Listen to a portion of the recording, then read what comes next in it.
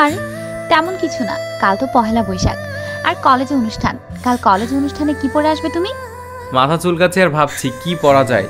আমি আগেই বুঝেছি তুমি সিলেক্ট করতে পারবে না। তাই তোমার জন্য এটা নিয়ে এসেছি। প্যাকেটটা হাতে নিয়ে দেখি একটা লাল পাঞ্জাবি। এটা কার? এটা তোমার জন্য এনেছি কাল এটা পরে আসবে ওকে? ওকে বাট তোমার জন্য তো কিছু আনলাম না। আরে আমার জন্য আনতে হবে না কালকে তোমার জন্য একটা সারপ্রাইজ আছে। কি? সেটা কালকেই দেখতে পাবে। এখন বাই ওকে বাই পরদিন সকালে ওর দেওয়া পাঞ্জাবিটা পরে আয়নায় গিয়ে দেখি অনেক সুন্দর লাগছে, ওর চয়েস আছে বলতে হবে।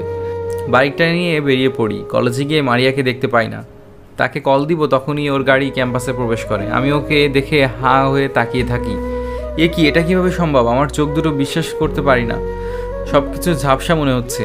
হায় আল্লাহ, আমি কি দেখছি?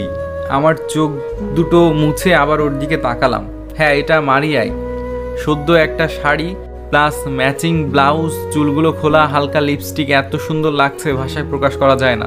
আমি হা হয়ে তাকিয়ে থাকতে থাকতে কখন যে ও আমার কাছে চলে এসেছে বুঝতেই পারিনি। এই যে মিস্টার পাঞ্জাবিওয়ালা মুখটা বন্ধ করুন না হলে মাছে ঢুকে যাবে যে। আমি ওর কথা শুনে থতমত খেয়ে ওর দিক থেকে চোখ সরিয়ে নেই। আচ্ছা আমাকে কেমন লাগছে? সুন্দর। শুধু সুন্দর? না অনেক সুন্দর। সত্যি? হুম। আচ্ছা চলো ভেতরে যাওয়া যাক। হুম। মারিয়া হুট করে আমার হাতটা ধরে বসল। এই কি মারিয়া এটা কি করছ? কেউ দেখলে খারাপ ভাববে। যা যার ইচ্ছে ভাবো তাতে আমার কি? মারিয়া আমার হাত ধরে হাঁটতে থাকল।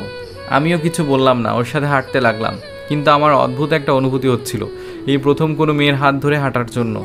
অনেক ভালো লাগছিল কেন জানি। এরপর অনুষ্ঠানে গিয়ে বসলাম। কিন্তু সেখানে যাওয়ার পর সবাই দেখি মারিয়ার দিকে হাঁ করে তাকিয়ে আছে। আর কিছু ছেলে তো চোখই ফিরাচ্ছে না তাই কিছুক্ষণ থেকেই ওর হাত ধরে টেনে বাইরে নিয়ে এলাম। এ কি? বাহিরে আনলে কেন? আমার ভালো লাগছিল না তাই। ও আচ্ছা। জনাব তা আপনার এখন প্ল্যান কি শুনি? চলো বাইকে করে ঘুরে আসা যাক। না তার চেয়ে বরং একটা রিক্সায় করে সারা শহর ঘুরে বেড়ায়। হুম। আমি আমার এক ফ্রেন্ডকে বলে দেই বাইকটা বাসায় দিয়ে আসতে। এরপর একটা রিক্সা ডাক দিয়ে মারিয়াকে সাথে নিয়ে রিক্সায় উঠি আর আট চোখে ওকে দেখতে থাকি। আর মারিয়া সেটা বুঝে মুচকি মুচকি হাসে। ওকে অদ্ভুত অপসরার মতো লাগছে। হঠাৎ ও আমাকে অবাক করে দিয়ে আমার ঘাড়ে ওর মাথা রাখে আর আমি অবাক হয়ে যাই। আমি সরে যেতে গেলে এই এই এত নড়াচড়া করছ কেন? আমার কেমন জানি লাগছে। চুপচাপ এভাবেই বসে থাকো। আই ফিল বেটার আমিও শক্ত করে ওভাবে বসে রইলাম। বাতাসে ওর অবাধ্য চুলগুলো বারবার আমার মুখের উপর এসে পড়ছে। আর ওর চুলের মিষ্টি ঘ্রাণ আমাকে পাগল করে তুলছে। আমার বুকের বা পাশটা প্রচণ্ড কাঁপাকাঁপি শুরু করে দিয়েছে। আচ্ছা আমি কি ওকে জিজ্ঞেস করব চুলের ঘ্রাণ এত মিষ্টি কেন?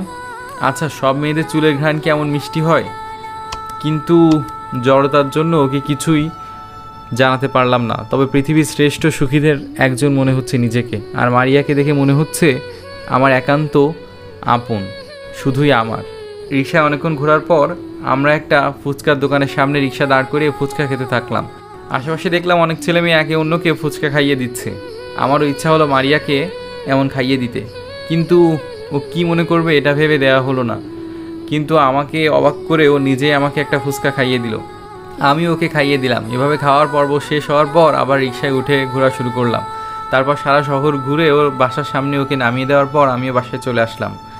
বাসায় আসার পর বারবার মারিয়ার চেহারা ভেসে উঠতে থাকে। এ কি হচ্ছে আমার সাথে? ওর কথা এক মুহূর্তের জন্য ভুলতে পারছি না। না আমার লাইফে ওর খুব দরকার আমি ওকে ভালোবেসে ফেলেছি। রাতে খাবারের পর ওকে নিজেই কল দিলাম। হ্যালো আসসালামু আলাইকুম। কি হলো কথা বলছো না কেন? ভাবছি। কি ভাবছেন ম্যাম যদি আমাকে জানাতেন। চাঁদ আজকে উল্টো হয়ে ওঠেনি তো যে স্যার নিজেই কল দিলেন? ও আচ্ছা রাখছি বাই। এই শোনো শোনো। হুম। রাগ করেছ? না। আচ্ছা খেয়েছো? হুম তুমি? হুম তুমি? কালকে তো কলেজ বন্ধ নদীর পাড়ে একটু আসতে পারবে? ও মা হঠাৎ স্যার নিজে আসতে বললেন? স্পেশাল কিছু আছে নাকি? হুম? সেটা কালকেই দেখতে পাবে। Bye good night. Okay bye. মারিয়ার সাথে কথা বলা শেষ হলে ভাবছি কীভাবে ওকে মনের কথাটা জানাব। ও যদি উল্টাপাল্টা কিছু ভেবে ফ্রেন্ডশিপ নষ্ট করবে না তো? তারপর আমার মনের অপ্রকাশিত কথাগুলো ওকে জানানো খুব প্রয়োজন। যাক, এখন ঘুমাই। সকাল সকাল উঠে কালো একটা শার্ট আর কালো একটা প্যান্ট পরে বের হলাম। একটা ফুলের দোকানে গিয়ে ওর জন্য টকটকে একটা ফুল কিনে তারপর নদীর পাড়ের উদ্দেশ্যে বেরিয়ে পড়লাম। গিয়ে দেখি সেখানে মারিয়া আর তার ফ্রেন্ডসরা গল্প করছে। আমি ওদের দেখে একটু দাঁড়িয়ে গেলাম। এই বদের হাড্ডিগুলো এখানে কেন এলো?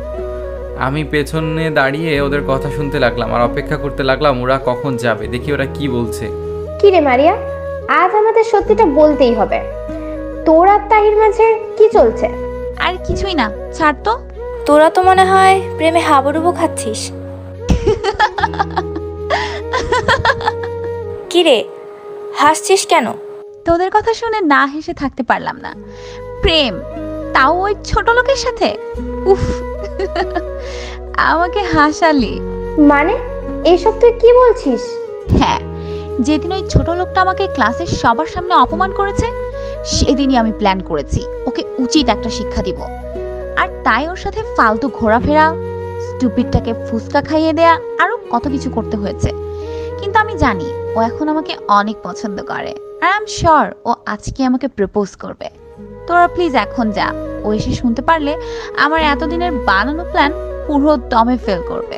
ওকে তবে এটা বলব তুই একটা জিনিয়াস হুম এখন যা। ওর বান্ধবীরা ওঠার আগে আমি সেখান থেকে বের হয়ে চলে আসলাম। বুকের বা পাশটা খুব ব্যথা করছে। চোখ দুটোও মানছে না।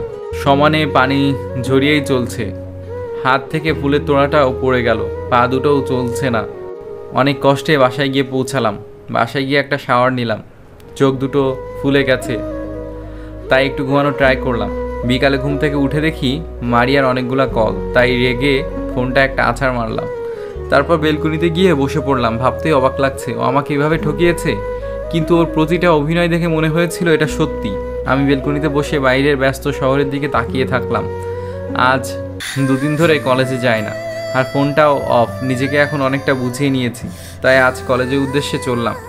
ক্যাম্পাসের মাঠে আসার সাথে সাথে মারিয়া আমার সামনে দৌড়ে চলে আসে। তুমি কোথায় ছিলে দুদিন? জানো এই দুদিনে কত ফোন করেছি ফোনটা অফ করে রেখেছো। কেন? আমি ওর দিকে তাকিয়ে আছি। ওর চোখ দুটো দেখলে মনে হয় না এই নিষ্পাপ চোখ দুটো মিথ্যা জানে। কি হলো? কথা বলছো না কেন? তুমি জানো না? আমার তোমার জন্য কত টেনশন হয়েছিল। আমি পাগলের মতো হয়ে গিয়েছিলাম। কি হয়েছে তোমার? আমি আর ওর অভিনয়গুলো সহ্য করতে না পেরে ঠাস ঠাস করে দুটো চর বসিয়ে দিলাম। পুরো ক্যাম্পাস আমাদের দিকে তাকিয়ে থাকে, আর মারিয়াও গালে হাত দিয়ে অবাক চোখে তাকিয়ে থাকে। কি ভেবেছিস? তোর অভিনয়গুলো বুঝতে পারব না? এখন সব ভালোভাবে বুঝে গেছি তোর অভিনয়।